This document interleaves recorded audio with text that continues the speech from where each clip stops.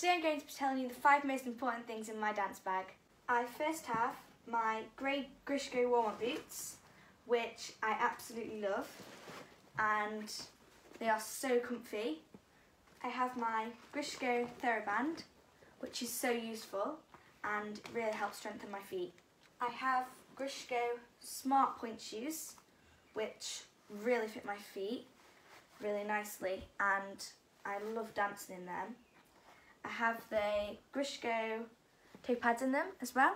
I have my black Grishko skirt, which I really love, and it's so nice and goes with all my leotards, and it's really neat, and I really like neat and tidy stuff.